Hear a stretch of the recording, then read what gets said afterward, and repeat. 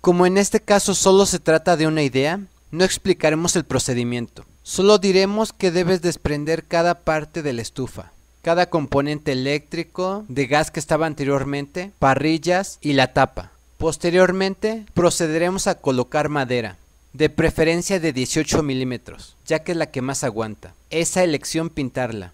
Debe de llevar dos laterales y un respaldo. Y ahí también podemos dejar el que venía por defecto en la estufa. Y colocamos la nueva. Haremos un orificio en la parte de atrás para que ahí pase la manguera de gas. Y obtengamos este resultado. Para darle un nuevo uso a la estufa vieja.